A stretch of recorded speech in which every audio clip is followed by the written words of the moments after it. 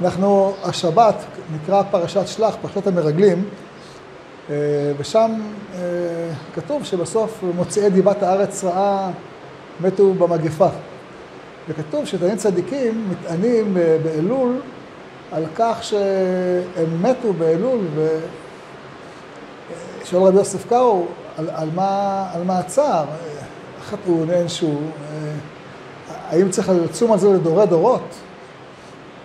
והתשובה היא שחטא המרגלים הוא חטא לדורות, כתוב שמי שבכה בכייה לחינם, אז יהיה להם בכייה לדורות. ועל כך שלא התקבלה תשובתם של המרגלים על מה שהם עשו, על זה אתם צדיקים. כי חלילה אולי יש בכל אחד מאיתנו משהו מזה שצריך לנקות אותו. אז באמת צריך לנקות אותו לפני שזה קורה ולא אחרי שזה קורה.